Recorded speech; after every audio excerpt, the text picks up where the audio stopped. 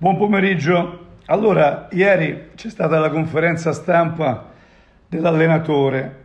Io direi salto di qualità infinito.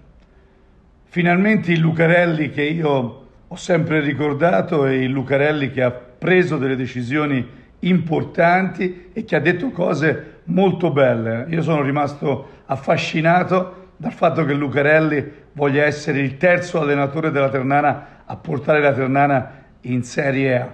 Questa è una cosa bellissima.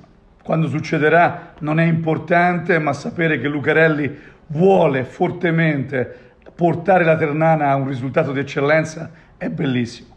Lucarelli, secondo me, ha, ha avuto una maturazione fantastica e il prossimo anno vedremo un campionato molto bello.